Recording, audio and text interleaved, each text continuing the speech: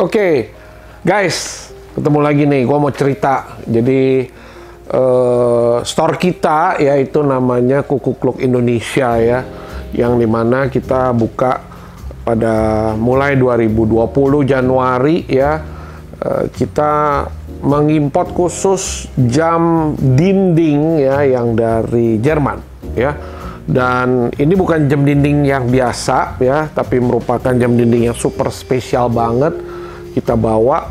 Di mana kalau teman-teman dan turis-turis atau lo orang lah yang pada mau pergi ke Eropa itu sering sekali lihat pas lagi di perbatasan Jerman ya pada lihat ini ada jam yang cukup bagus ditaruh di wall di tembok ya. Tapi kepengen beli gimana caranya? Mau bawa pulang takut dan berat lagi ya. Terus juga mau nanya juga takut karena harganya wow begitu. Ya nah sekarang Kuku Klok Indonesia dari tahun 2020 kita udah mengirimkan banyak sekali barang-barang ini yang menjadi keunikan dari uh, para uh, kolektor ya atau ya kita sebut mereka yang senang dengan berbagai barang-barang antik ya. Jadi nggak usah pergi ke Jerman jauh-jauh, cukup aja datang ke toko kita ya dan kita bisa langsung lihat koleksinya ada apa aja modelnya ya.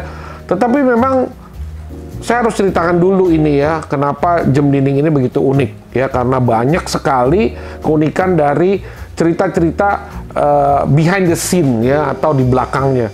Seperti pembuatannya dan juga uh, sejarahnya dan juga figurinnya ya. Plus juga ada uh, urban legendnya juga yaitu yang kita namakan dari daerah Black Forest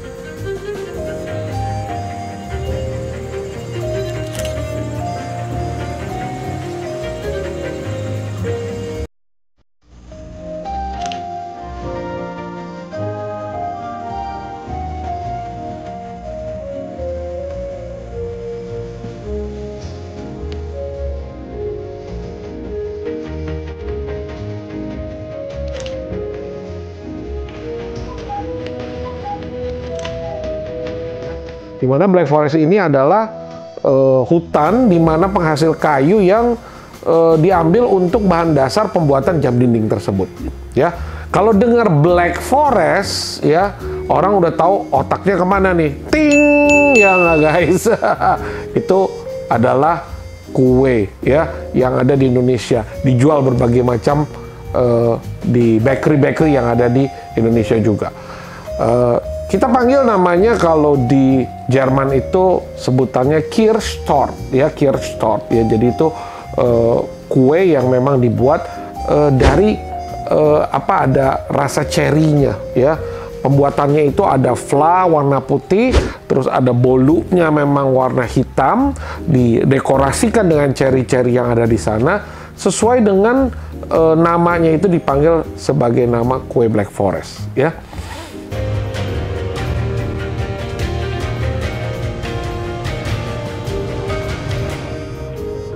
sesuai dengan e, namanya itu dipanggil sebagai nama kue Black Forest ya.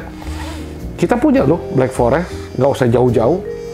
Dan bolu ini adalah bolu Indonesia yang e, sudah kita e, tentukan modifikasi sesuai dengan lidah kita ya. Karena kalau yang di sana mohon maaf teman-teman yang e, dari Jerman itu ada alkoholnya which is kalau ada alkohol, alkohol berarti tidak halal ya. Jadi bagi teman-teman yang ingin merasakan modifikasi bolu yang sudah uh, dengan rasa Indonesia, kita turunkan gulanya, kita take out yang namanya itu dia punya alkoholnya ya. Jadi dalam bolu loji yang ada di sini nih guys, ya, bolu loji nanti ada yang rasa akan saya perkenalkan yaitu Black Forest Cake ya. Ini kebetulan rasanya red velvet, ada beda sedikit ya. Nah, di rasa yang ini juga agak unik ya teman-teman ya. Jadi nanti saya akan coba kenalkan dari satu persatu produk-produk dari Boluloji. Tapi tentunya yang bertalian dengan kita punya jam dinding yaitu yang berasal dari Black Forest ya. Size-nya, besarnya, tingginya dan juga ada apa aja figurinnya di dalam, itu menceritakan it tells about everything ya. Jadi uh, gue mau kasih tau nih guys ya kalau jam ini memang dibuatnya pakai tangan. Nomor satu itu dulu ya. Jadi bukan hanya pakai mesin ya. Yang orang taunya itu mesin ya. Mesin itu kan mass production seperti kayak factory enggak ya. Mereka berasal dari daerah Trier ya yang ada di Black Forest ya dan juga dari hutan yang kita panggil dalam bahasa Jermannya itu uh, lembah Schwarzwald ya. Jadi teman-teman kalau kita ke sana itu memang semua hutan-hutan kayu ya. 50 tahun yang lalu ada yang namanya program yaitu penanaman bibit uh, kayu yang tumbang yang sudah hancur dan juga diambil pada waktu selesai Perang Dunia Kedua ya. Jadi setelah itu mereka membangun lagi hutan tersebut dengan bibit baru dengan eh, pohon-pohon yang baru ya.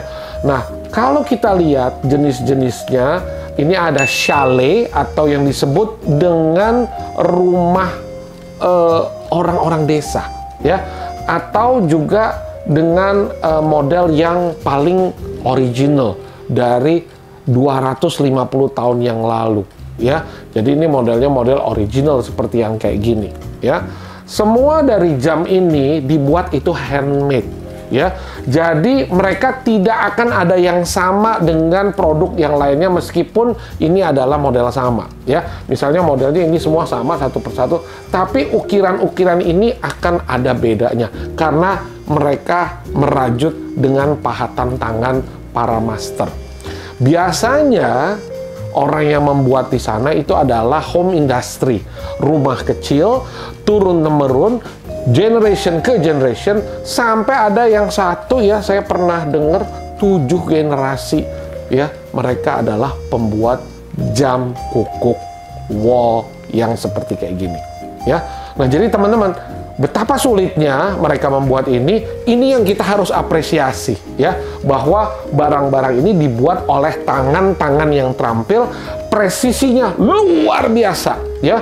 Jam ini nggak pernah ngaco ya, maksudnya nggak pernah ngaco ini kalau kita beli jam yang pakai baterai ya, itu kadang-kadang suka ngaco kecepatan, kelambatan. Nah ini semua bisa diatur ya.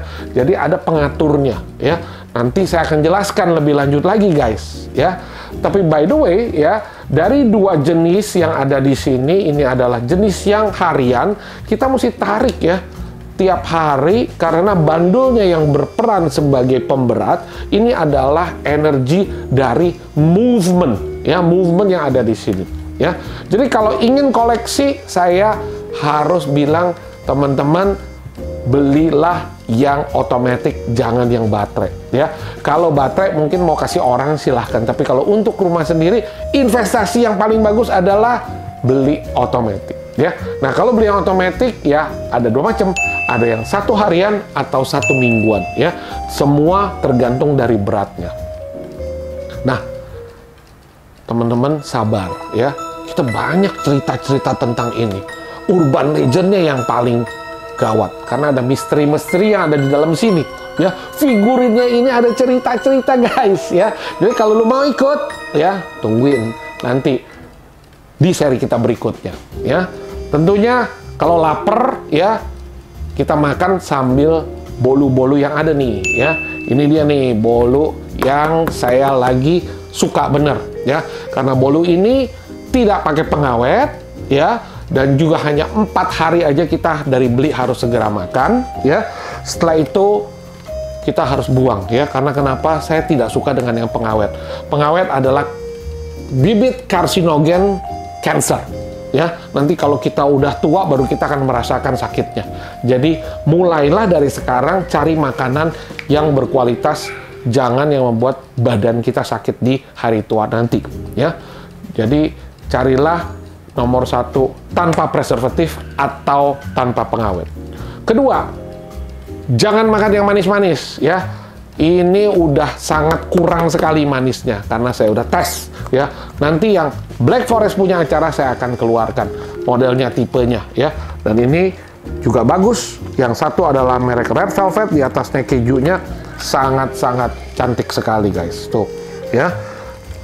Oke, sementara saya sampaikan di sini dulu. Rumah-rumah Black Forest modelnya seperti kayak gini kecil. Ya, ini bisa souvenir ya. Ada temperaturnya. Nanti ada yang cowoknya keluar, itu berarti lagi panas ya. Berarti ceweknya masuk ke dalam ya. Kalau lagi dingin, ceweknya yang keluar, cowoknya masuk ke dalam ya. Inilah model rumah temperatur dari Black Forest yang ada dari Jerman ya. Oke okay, guys, sampai di sini dulu. Nanti kita akan sambung di video berikutnya ya. Si Ivo Petir jalan dulu. Cuu!